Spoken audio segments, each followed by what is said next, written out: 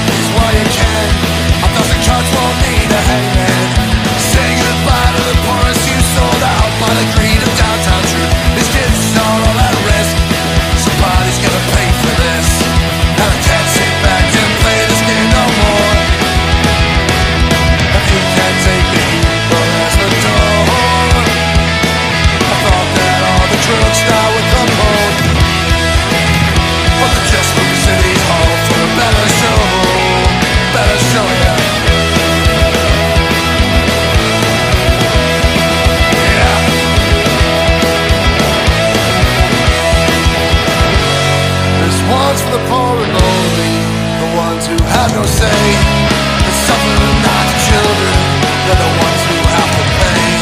While leaders turn a blind eye, all that's left is a loaded gun. But why should we care at all for another mother's son?